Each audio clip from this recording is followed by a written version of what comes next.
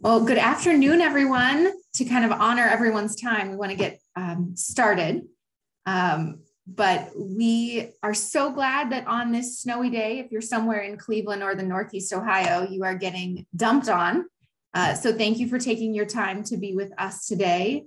Um, we really hope that this next 45 minutes together, um, you learn something, we learn something, um, and can support one another.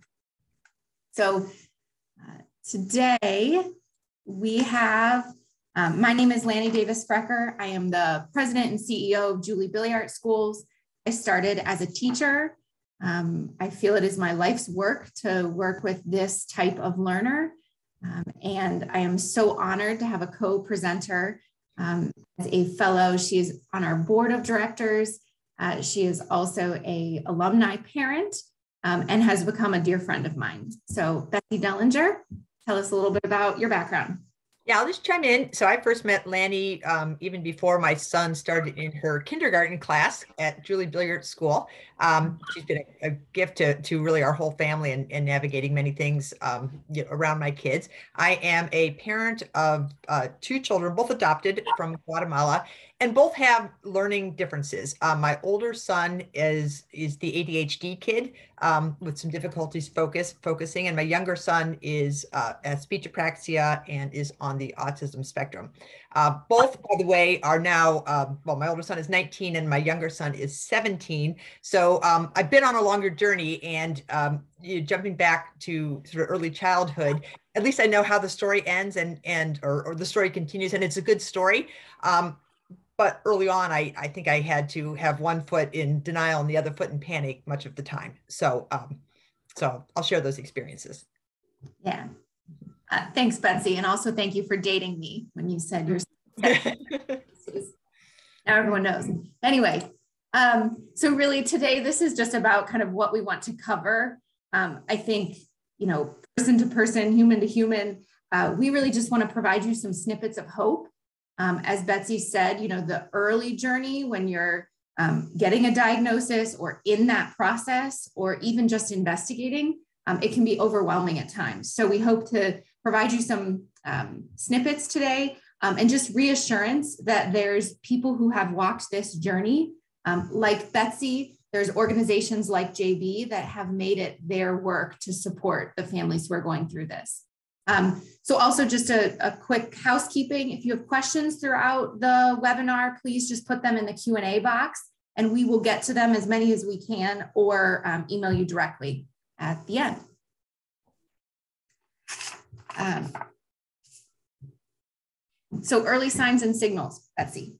Yeah, you want me to jump in? So first of all, you know, um, bringing my kids home and when they're younger, very honestly, everything um, both of my sons did struck me as completely amazing, right? And it is only when you start like putting them next to uh, more traditionally developing kids that you think, hmm, that seems a little off or that's a little different.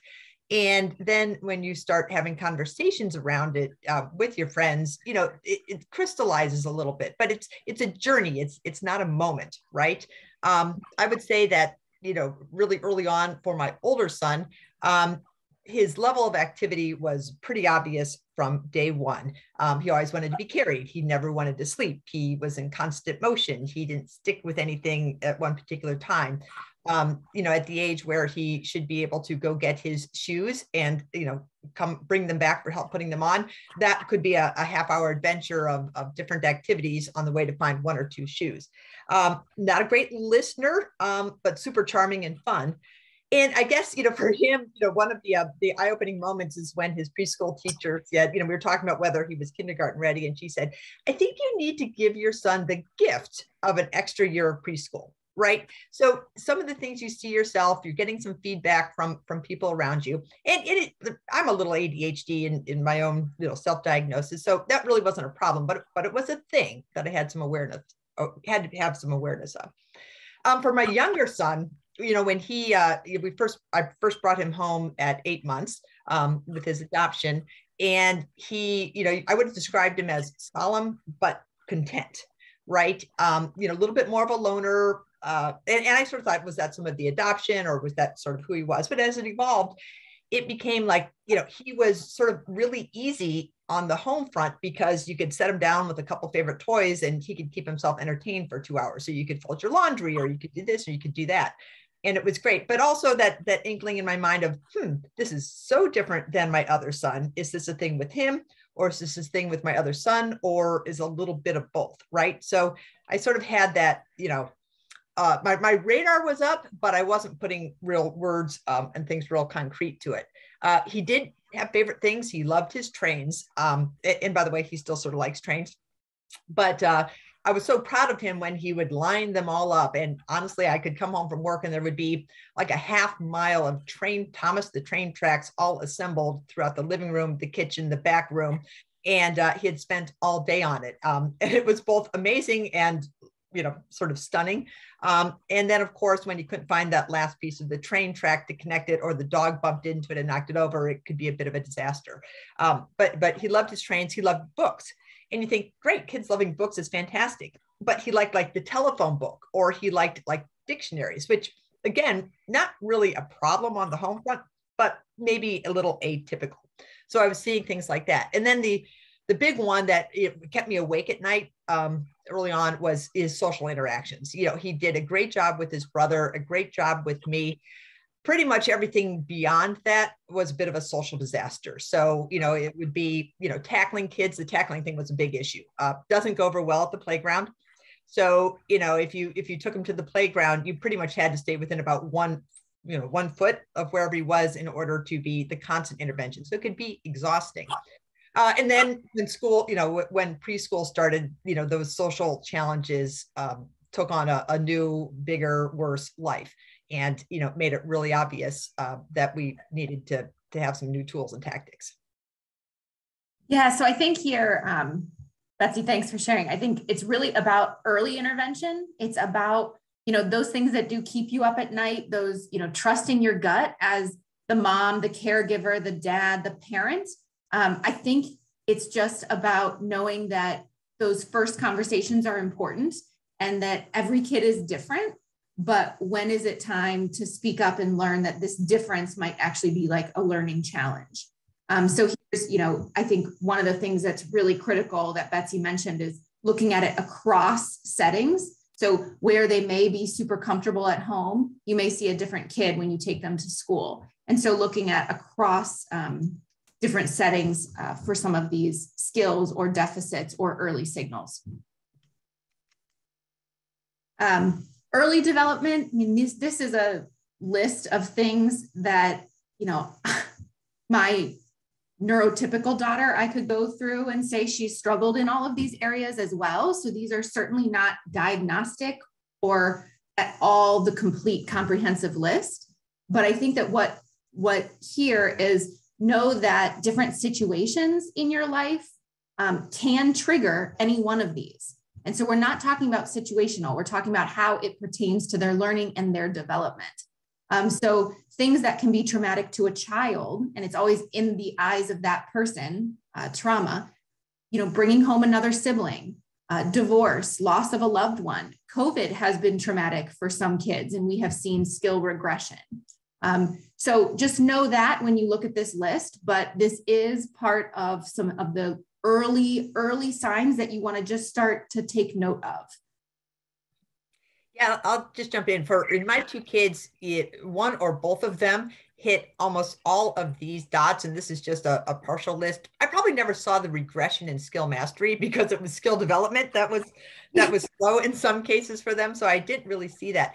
Where I struggled with, you know, you can you can see this list, you can see things online. Your pediatrician can give you a list of things to watch for. Everything from my perspective as a parent, everything was a little bit relative. Like difficulty attending tasks. Well, like what is the right expectation about how a child should attend to those tasks? Um, you know, sound letter correlations. Well, what is that really? How does that really translate to to what I'm living with at home or what we're seeing at the grocery store and so forth? So that was, you know, taking a list like this and then looking at my child. I needed a lot of help in, in bridging the gap between like what does this statement say and what would a typically developing child do and where does my child line up against that? Um, and that's where really drawing on a community of people around me was helpful. And initially that community sure it was my pediatrician and, and my kids both had early speech therapy. The speech therapist was super helpful but it was a lot of talking to my friends who either you know had kids the same age or older kids and they'd been through this journey who were compassionate compassionate you know guidance on this topic some of them with uh, you know typically developing kids and some of them with atypically developing kids. So there was just sort of i had to be a sponge for a lot of information in order to figure out how to how to really digest this and these type of um, uh, you know lists of what things should be of concern yeah yeah so this is really kind of our in school signs you know if your child is in a school setting and what it um, can look like. Um, Betsy, do you want to?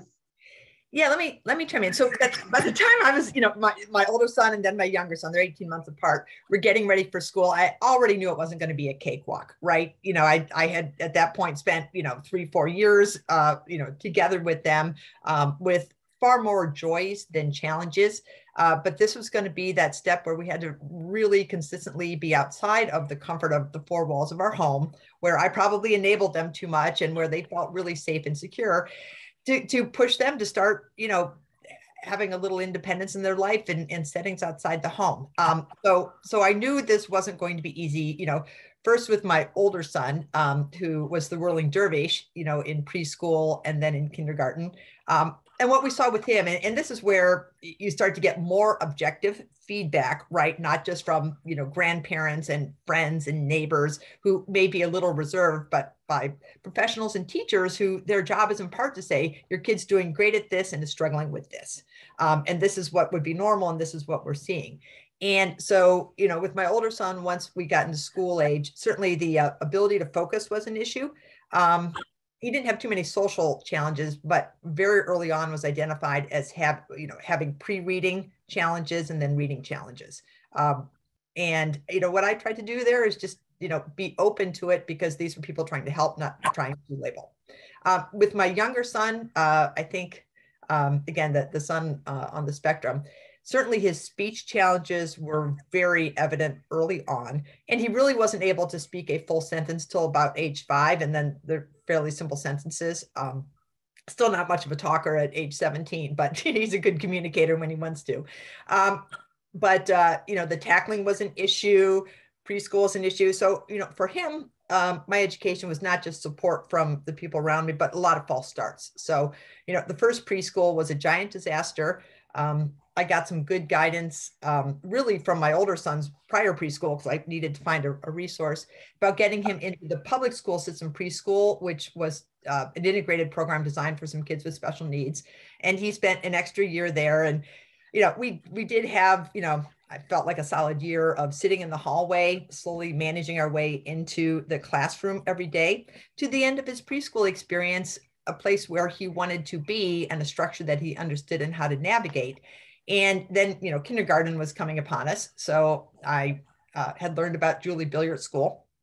And uh, I took him to the screening, at which point he refused to walk into any of the classrooms to talk to any of the teachers.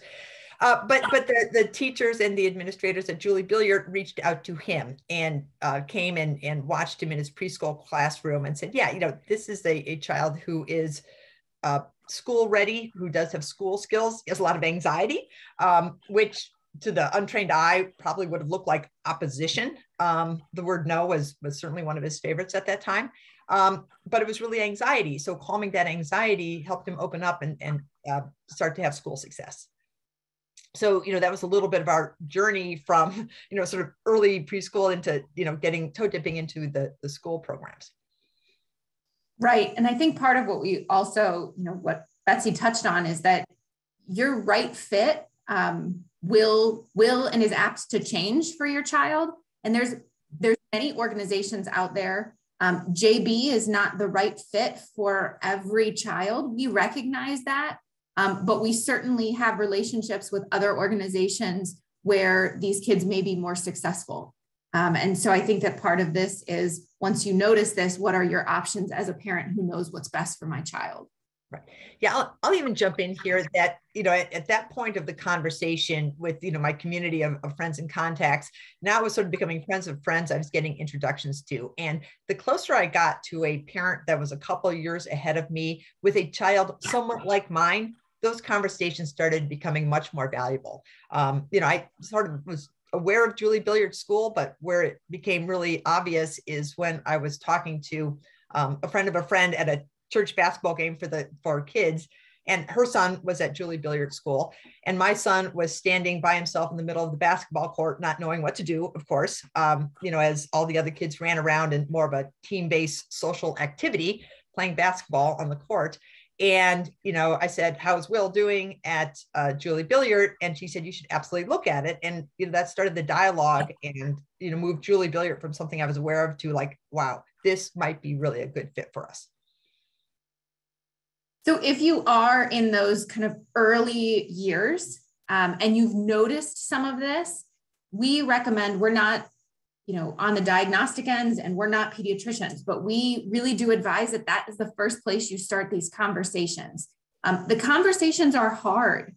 Um, we all have behaviors, like that's human beings have behaviors. It's when the behaviors are disrupting the flow or the access to things that you really do need to take notice. Um, so I have a, a two year old son.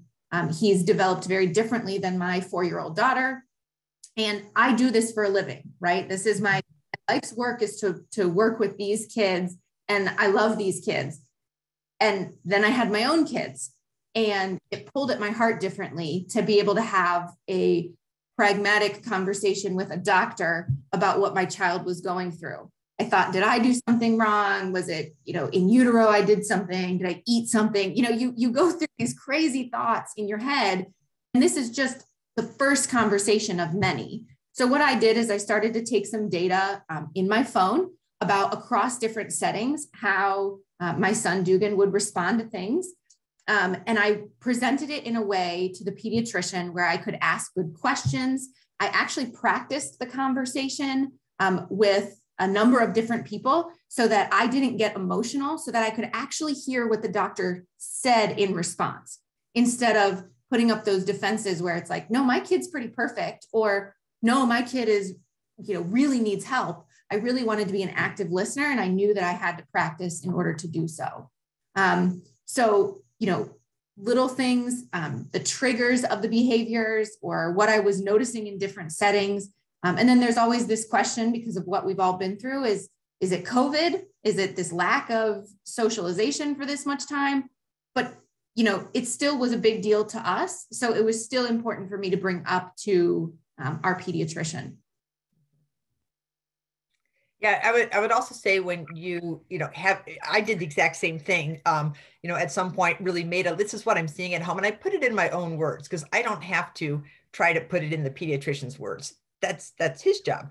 Um, but I put it in my own words. It was a super helpful conversation. It was actually a relief to really have that structured conversation with my pediatrician. And then, you know, what I saw, and, and I think it's important to remember, is that a diagnosis is not the end of the road. The diagnosis is the a step you take to getting the right support for your child, right? Um, because you know the whole goal here is how can i help? How can i help my child feel comfortable in their own skin succeed on the playground do well in school? That that's the the purpose of the diagnosis so that you can start like using some common language with the people around you to to bring all of that support to place so you can take your wonderful child and give them a wonderful experience.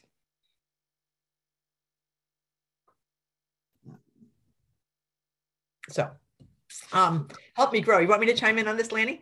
Yeah. So and then I, I had an experience with, with, Help Me Grow that was very good. Um, uh, Help Me Grow is a, a, I guess it's a statewide organization. So my older son, um, again, I mentioned he was adopted from Guatemala. He came home, you know, we did all the initial testing with the pediatrician and it was discovered um, I discovered it through a panicked phone call from my pediatrician that his lead level was high. So he had early lead exposure.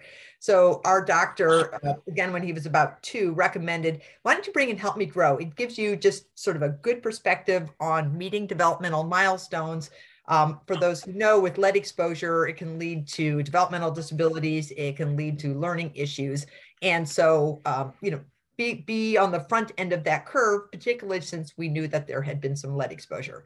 Um, and my pediatrician at that point did also say, you know, if you see a learning disability or ADHD, that might be just who your son is, or it might be due to the lead. In either case, you're going to manage it the same way. So I brought in Help Me Grow, a very compassionate organization. They came to our house. It was not scary for me. It was not frightening for my child. Um, I can still picture the woman. And it was just sort of like your best friend walking in. Really, and just spent some time and and brought some professional resources to, um, you know, what I was seeing. They developed a, a, a very helpful report um, for us and I, I, will say, you know, in hindsight, I would read the report differently because at the time I read the report and go, great, she didn't like circle anything in red and say that this was a giant disaster. So everything's sort of okay.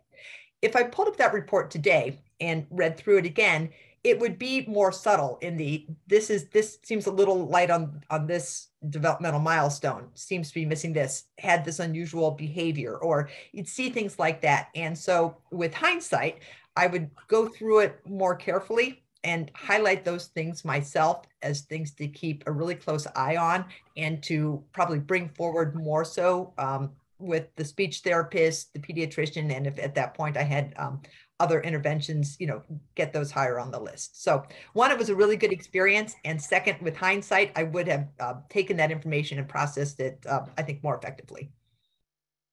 Yeah. And um, I had an experience with Help Me Grow as well with my son after I talked to my pediatrician. And, you know, what I liked is they came in and they weren't like judging how clean my house was. They were instead really, you know, talking to my child in his own environment and were giving pretty unbiased benchmarks as to what I, you know, as the mom and, and my husband could look for. Um, they gave us real time answers. So, right then and there, they told me if my child qualified for services. And this was all up until school age. And so, it was a really nice barrier to have this because I know what to do once they're school age because I'm in that world. But prior to that, it's hard. And when you know early intervention is the thing that is going to help your child, you want to get it, but where do you go? Um, mm-hmm. Help Me Grow was just a really good connector for me. And they were a really good, you know, they handed the report and they showed, you know, where he was uh, and, and kind of what next steps would be. Um, and again, in my experience, there was kind of no judgment, which was, which was really nice. Mm-hmm. Some of you uh, may be wondering, well, what happens if my child is school age? Um, and really, we will touch on this um, today, and we will fully discuss this in a webinar um, a webinar session that's within this five series um, of webinars. But, you know, kind of real quickly, um, you really do start with your district of residence, even if your child is in a private school, it is your district of residence that you start the conversation with. Um, every child, every school district has a little bit of a different, you know, start here, start with this person. Um, but your rights as a parent for knowing your child needs an evaluation, those don't change. Um, you can learn those rights. There's tons of supports from a state perspective on that um, and from an advocacy perspective, but each um, district will be unique in how you work with it. But really start the conversation with your you know, child's teachers, your child's administrators. Definitely put some things in writing about what you're noticing as a parent and ask for the school's perspective on what they're noticing as well to start the dialogue with let's let's put some real um, unbiased assessments into place to see where my child is against where you know their their neurotypical peers may be mm-hmm. yeah I, I, sometimes people hear horror stories about the interface with the school system and special needs kids my experiences with both of my kids over you know the last you know decade and a half have been really good. I felt like the school system, you know, uh, the professionals there were helpful. They had my child in mind. They were timely. Um, they were compassionate. Uh, so I've had very good experiences. So I people have had different experiences than mine, but I can give you at least one example where I felt that the public school district um, really had the same interest in mind, which is you know how do we best serve this child.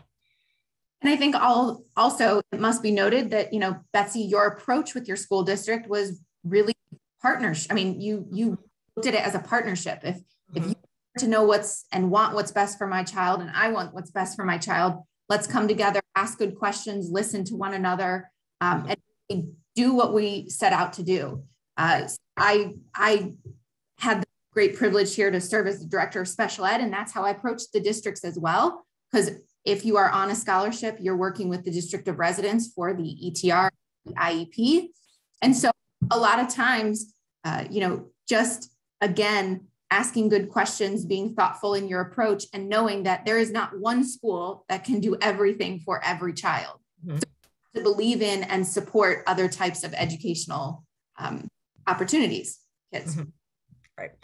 Yeah. No, it's it's true. And I'll just I'll just add to that that the um, sometimes when it, at, at certain levels, well, actually at all levels in the in the evaluation process, you're going to be faced with some objective measures of the child's performance and those can be a bit demoralizing, right? When you see, at least from both of my kids' parents, you see your ch- children in the numbers because the numbers tell just such a small part of their whole story. And it's not the best part of their story. Um, so that can be demoralizing. So out of some of those meetings, I had to take the deep breath, go hug my kids, and then look at all the amazing things that they're doing and know that they're a whole person who is going to grow up into a successful, fulfilled adult. Um, and that that information is really just a tool to help them navigate to that, not not uh, a judgment or a, or a ceiling on what they can do. Right. And those processes, I mean, those are deficit processes. So you're you're really intentionally pointing out the deficits of kids and putting them on paper. So it is hard. It's mm-hmm. hard. It's hard to be part of. You know, I brought a picture of kids to those meetings. Like we're not just talking about paper that defines a kid. We're talking about this little face um, because it's so important for us to know that they're a whole person on top of that. And yeah, maybe they struggle to read, but they also love horses and they love to do this with their brother. And so, um, you know, I've always really uh, appreciated how you, Betsy, have kept that in perspective for your kids. Um, here are just some references, some resources, some suggested readings. The list is exhaustive, but these are some that we do feel are helpful. Um, and, you know, Julie Billiart Schools has a fantastic website and there's resources that are also um, listed on there that may help you in your journey. Um, but sometimes just being able to call someone and um, speak with someone is, is meaningful in your journey. Um, there are five more episodes in our series. These are the next two. Um, and again, you know, JB is wants to be part of these conversations, wants to be part of, of your journey as you figure out what is best for your child because uh, we we care and this is what our organization was set out to do.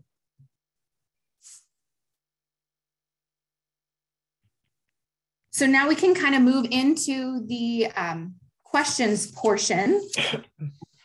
We are amazingly right on schedule uh, because Betsy and I can talk like none other. Um, so, so, one of the questions that we got, um, and Betsy, you may be helpful here too, is what do we do if our older child, um, a second grader, uh, we are noticing some of these signs now that they're in second grade. I'll just jump in. I think you do the same things as if you noticed them when you were earlier. You, you know, um, uh, start writing down what you're seeing, what you're hearing from the teachers, have some objective conversations with the teams around you, which at that point, if you haven't had big problems before, is probably your pediatrician and the school system. Um, and, uh, you know, do the information gathering and then um, it starts to get, if, if, if it's the public school or even some private schools uh, have the equivalent, um, they may talk about things like IEPs or special accommodations, and that gets to be part of the conversation. I wouldn't stop the conversation there because what you really want to do is, you know, not just accommodate, but you want to understand too. Um, but I think it's the same process. It's the same conversation. Um, it's just they're they're interacting more with the outside world there, so you're going to get more external input. Mm-hmm. Uh, another person asked, um, What if your child attends a private school, but you suspect a disability? Uh, do you still go through the district? I have heard that private schools, not JB, tell parents that they don't do IEPs. Can I go first? Yes. Um, so I was one of those parents who said, "Oh, I'm, you know, going to send my kids to, you know, a private preschool because it's awesome and it's private." And you know what? That I, I'm embarrassed that at one point I I had that mindset because what I quickly learned is that you know that was a huge disaster a, mild disaster for my older son a big disaster for my younger son and that the right place was in the program that was designed to support their needs not the program that i thought was the best program right? So the public school district had the integrated preschool programs and was just fantastic. It almost life changing um, and got us through that stage to the next one. So we did get feedback uh, from one private preschool that they did provide these services. They honestly didn't even really know what early intervention services were for children. And, and I, I would fault them on that because if you're working with young children, even if they're not children you're serving, you sort of, it's a lot of families' first exposure to the school age really helps if you know what the resources are in the community. So if you can't serve that child, where to send a family as their next step. So I found those resources and I and I did that. Um, my older son, um, my younger son was obviously at Julie Billiart School. My my older son was in more traditional programs, and all of those programs um, in independent schools did have some type of support um, for him. So he was in those schools, and then in high school, he ended up going to a school especially designed for kids with learning needs. So I got the, the, the programs and the support along the way. It looks a little different in private schools than public schools, but it was there. Yeah, and I think the only thing I would add is when they're saying that they don't do IEPs, it's because an IEP, an individualized education plan, is really a, a school document um, that you know really is a responsibility of the public school to offer your child that free, appropriate public education. A private school has something called a service plan, typically, and it's essentially the same thing without less with less um, legalese attached to it. Um, but there's still you know, hopefully trying to obtain um, data that shows that they're working towards um, the goals and the objectives and the services that are under that plan. Um, there's always an opportunity to get an independent evaluation. So there are groups, sometimes your insurance may even cover it, um, for you to go out and get an independent evaluation for someone else to look and say, you know, we're going to do a, a litany of tests and we're going to take some really um, unbiased scores and we're going to put them against their the norms of their peers um, and give you a recommendation for if there is uh, a disability um, that your child is struggling with. Um, another question is, can Help Me Grow start at the age of 18 months? I have two kids already on the spectrum and my third one is having a few symptoms as well. Um, in my understanding, Help Me Grow will evaluate at the 18 month year old level. Um, I'm sure their website would tell you that, but I believe that they they will because they're pre-school age um, developmental. My understanding is yes, and you should uh, maybe give them a call. Um, then we have tips for me as an early childhood educator who wants to go into the special education field after I get my associate's degree based on this topic. I think that so, was for you, Lannie. yeah. So tips. Um, obviously, uh, my much of my heart is still in the classroom. Um, our teachers are amazing because they bring out the gifts in our kids. So something that I think the best teachers do is they find the thing that the child is good at, no matter what the category says. They get to know the child, they find what they're good at, and they communicate that to the parents. Because when that parent feels that you see the good in their child and that you see, um, you know, the things that they love, the things that make them tick beyond this category, um, I think that then the parent is willing to team with you differently. And so the best thing for that child is to have the parent support the teacher who can support the child. Um, so it really is about that whole relationship. Um, and I would say to find that early on and communicate it with with teacher with parents. Do you have anything there, Betsy? I think you know be sure to you know celebrate the everyday successes the child has in the classroom because um, you know, if the test scores don't tell this fantastic story, it doesn't mean the child's not learning and growing. So celebrate those successes and, you know, bring a lot of patience to the classroom. One example I can give, and I think Lannie's heard me say this before, is when Autumn was in kindergarten, Lannie's co-teacher, you know, would take the kids to the library and my son would every day pick out a train book, right? And he said, well, maybe we need to pick out a book not about trains. So I think Jason sat with with my son on the step you know the library crying for about 30 minutes. Jason wasn't crying i don't think but my son clearly was. And um, and after 30 minutes my son went and picked out a second book that wasn't a train book. That was a huge success for him because it you know pulled him a little out of his comfort zone. Um, and uh, it's that type of like everyday success that makes a huge difference. Um, we have another question um, which says, what professional can perform these evaluations for you? Um, I think you're probably uh, talking about maybe some of the independent evaluations that I was talking about. Um, a lot of times your neurologists, your pediatricians will have recommendations. I know that um, Akron Children's, we do uh, work with them and they have a center.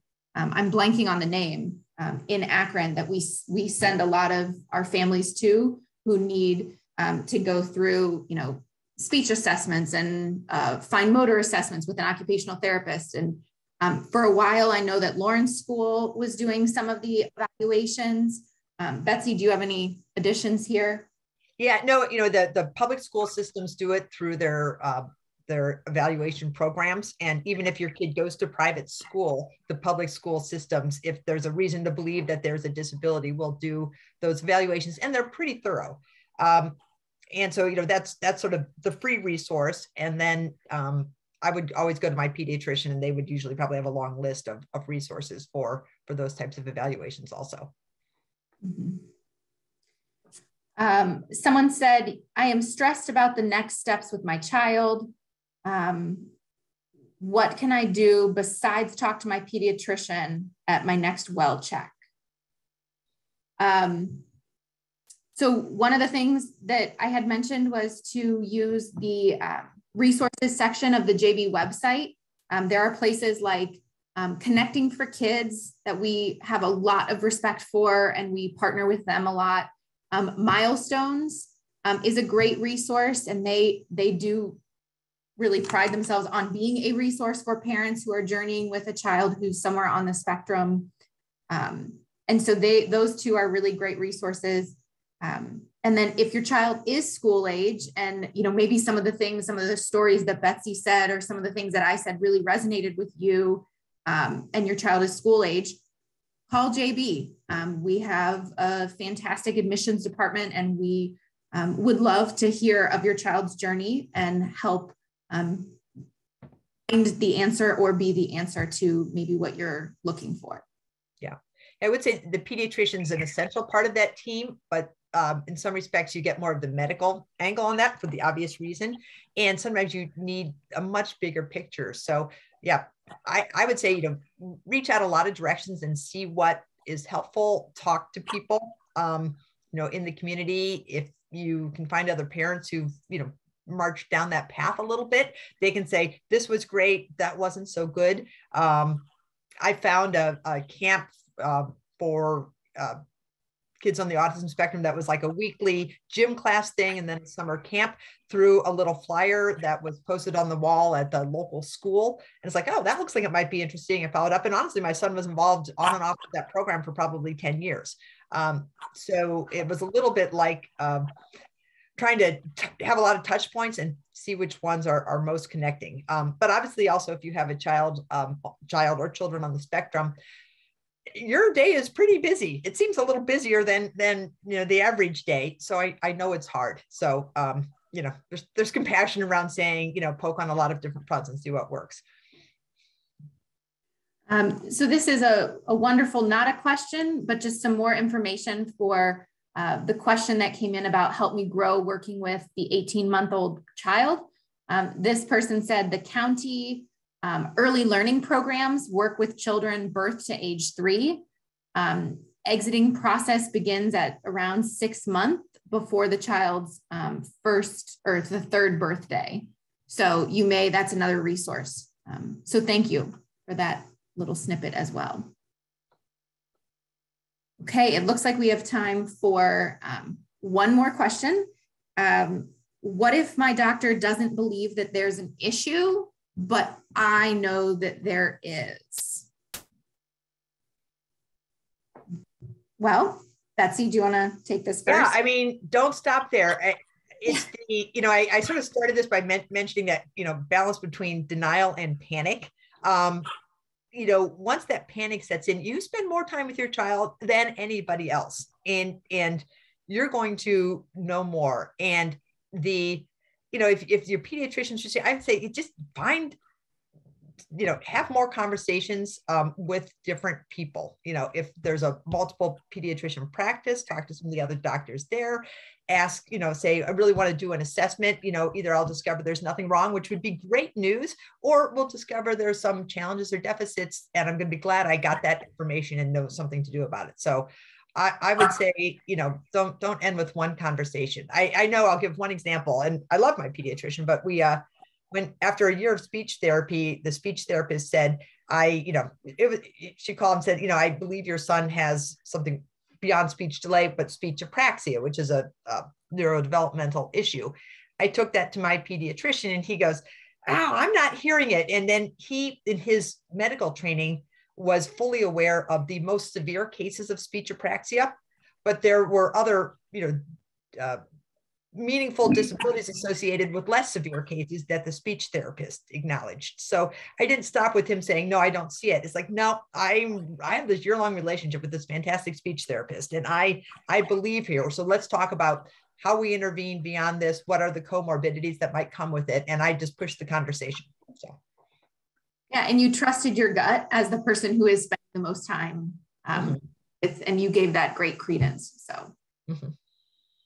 um, so we did get through those questions. Um, you will get this emailed to you. Thank you so much for your time today, um, for spending it with us, whether this was your lunch hour or just a couple minutes um, away from the craziness of your life. Thank you for being with us.